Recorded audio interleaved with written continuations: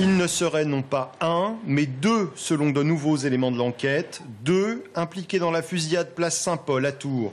Le tireur, accompagné d'une autre personne qui conduisait le scooter. Les auteurs sont toujours en fuite. Hier vers 14h, un homme d'une vingtaine d'années circule à pied devant ce bar lorsque le deux roues s'arrête à quelques mètres de lui. Deux coups de feu sont tirés. Par miracle, la victime n'est que légèrement blessée à la cuisse. Il a déjà quitté l'hôpital Trousseau. Un autre homme, attablé au bar, a quant à lui reçu des éclats de verre lorsque la vitrine a explosé. Comme nous l'évoquions hier, la thèse du règlement de compte est privilégiée.